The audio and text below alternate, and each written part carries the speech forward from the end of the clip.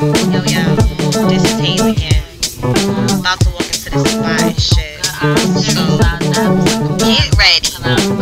When I tell you it's a lot of bitch ass niggas out here, it's a lot of bitch ass niggas.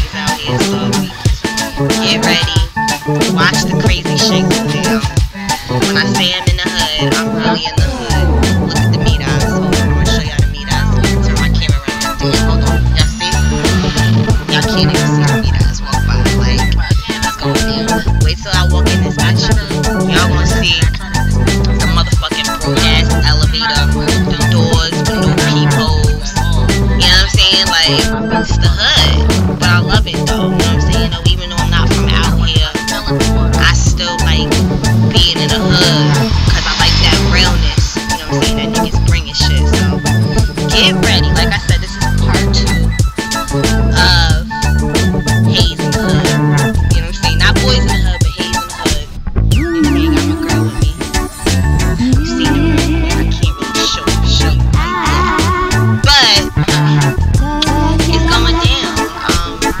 get ready.